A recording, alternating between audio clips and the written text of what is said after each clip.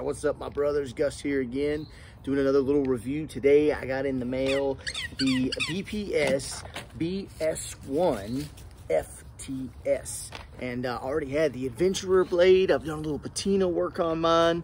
Uh, you guys can see it there. Just used some apple cider vinegar and some mustard and gave it a nice little cool look, all right? Um, I kind of like doing that. Just makes my knives a little bit different. So, but today, we're gonna go over this BS1 FTS that just came in and uh, let's see how we're doing here, all right? All right, so another knife from Ukraine. We'll go over uh, a little bit of the differences to the box that it comes in. And uh, let's see how it comes packaged up, shall we? All right, some nice little plastic there.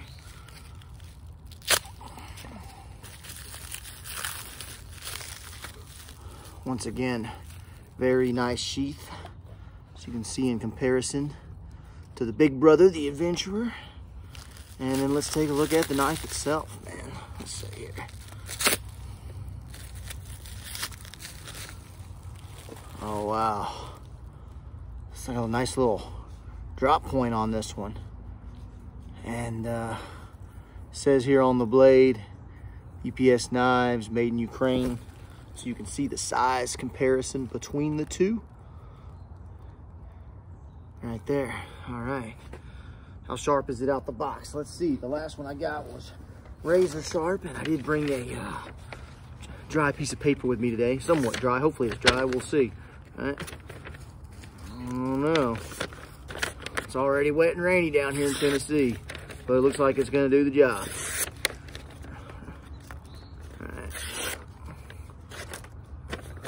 Good enough for the girls I'm going out with these days, right? Yeah. All right. So, just so you guys can see them side by side again.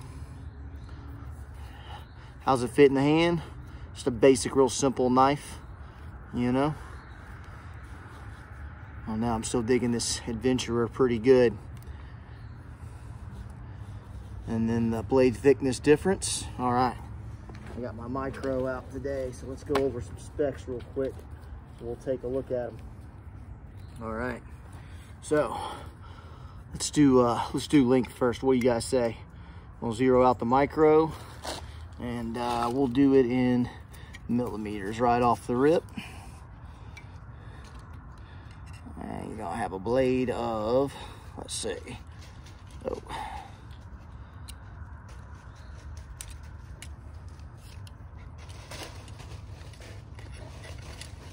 Yeah, let's just put one down at a time. Be a little bit easier for me here fighting it. Now, 5.5 inches or in millimeters, 139 millimeters, okay? And as far as our thickness is on this one, on the BPS Adventurer, 3.5 millimeters essentially. And on the FTS, 1.85 millimeters. All right, length of the handle.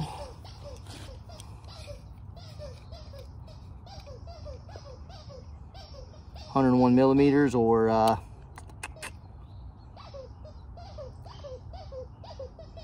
four point eight five inches. All right, it's getting kind of dark out here, guys. So hopefully you can see it too well. I'm pretty sure it'll blast some sparks pretty easily. Um, looks like a nice little knife. Kind of do some fine whittle work and everything with. Um, as far as the difference between the two, I think this one was $25 maybe. And this one was, you know, $39. So just a nice little additional knife if you want to do some light whittle work around the yard. Maybe some fine game cutting and everything like that. Okay. So, so you can see them side by side in the sheaths.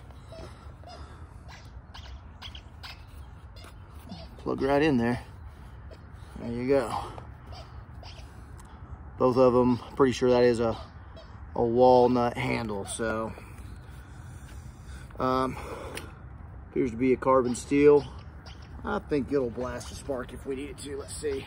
A bit of time before the uh, The light runs out. We're pushing it today, boys. Know. Not wanting to hit it.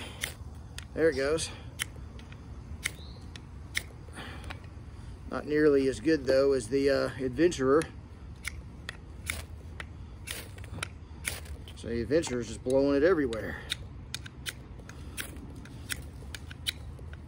I'm not really getting it on this one. So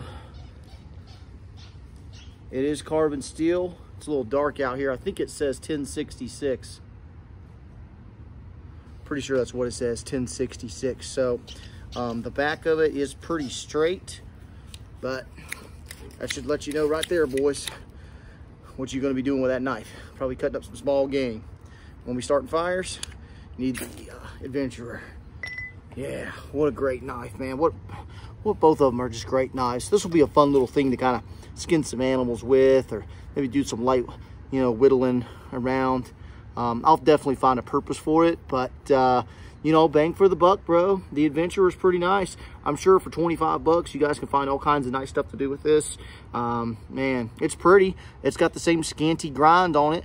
You know, just a little bit more of a drop point where that's kind of a straight edge, right? Look at that. All right, boys. Thank you so much. Hope this uh, video is light enough for you guys actually see what's going on.